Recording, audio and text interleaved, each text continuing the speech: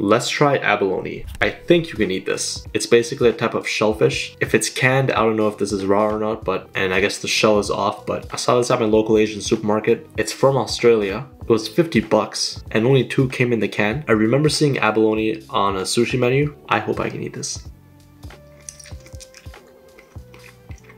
Oh, that's good. It's like a mussel. I honestly didn't think it was going to be good. And also the price point, I'm like, why is this so expensive? I just feel like I'm wasting it by eating it by itself. I don't even know how to prepare abalone apart from just eating it like an apple. But if you guys have any ideas on how I can prepare this, let me know in the comments. Other than that, I would rate this an 8.4 out of 10. It's a mussel. It's a giant thick mussel. That's all it is.